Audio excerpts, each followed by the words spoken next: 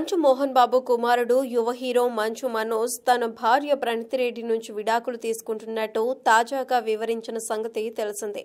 రెండు వేల పదిహేనులో ప్రణతిని పెళ్ళి చేసుకున్న మనోజ్ కొన్ని అనివార్య కారణాల వలన భార్య నుంచి విడాకులు తీసుకుంటున్నా అని సోషల్ మీడియా ద్వారా అఫీషియల్గా ప్రకటించాడు.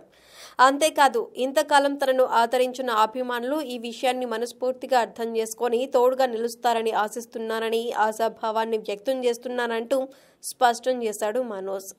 పెళ్ళి తర్వాత తాము సంతోషకర జీవితాన్ని గడిపినప్పటికీ తమ ఆశయాలను సాధించాలని అనుకున్న వాటికి ఈ వైవాహిక జీవితం ఇబ్బందికరంగా మారకూడదన్న ఉద్దేశంతోనే ఈ నిర్ణయం తీసుకుంటున్నట్టు తెలిపాడు.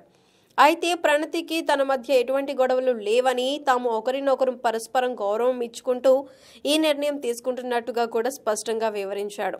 ఇలా చెబితే తన అభిమానులు అర్థం చేసుకుంటారని అనుకున్న మనోజ్కు కొంత పాజిటివ్ రెస్పాన్స్ వచ్చినప్పటికీ కొందరు మాత్రం ఆయనకు వ్యతిరేకంగా రియాక్ట్ అవుతున్నారు. గతంలో మనోజ్ విడాకులపై స్పందించిన తీరును మళ్ళీ బయటకు తీస్తున్నారు. వాళ్ళ బొంద అంటూ అప్పుడు అన్నావు ఇద్దరం ఆనందంగా ఉన్నాం. నేను ప్రణతిని జీవితాంతం ప్రేమిస్తాను అంటూ ట్వీట్ చేశావు. ఎప్పటికీ ఆమె నా గుండెల్లో ఉంటుందని చెప్పావు. ఇప్పుడు ఎలా విడాకులు ఇచ్చావంటూ చాలా మంది మంచు మనోజ్ను ప్రశ్నిస్తున్నారు.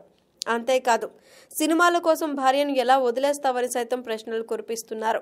నెటిజన్ల నుంచి ఎదురవుతున్న షాకింగ్ ప్రశ్నలు మనోజ్ను మరింత కృంగదీస్తున్నాయి. దయచేసి అతన్ని అర్థం చేసుకుని తోడుగా నిలవండి అని అంటున్నారు మనోజ్ సన్నిహితులు. Please subscribe. Do subscribe to TFC Media channel.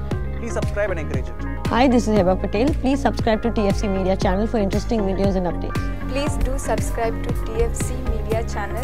For more celebrity updates, please subscribe to TFC Media. Hi, this is actress Nandita Shweta, TFC Media Private Limited. All the best.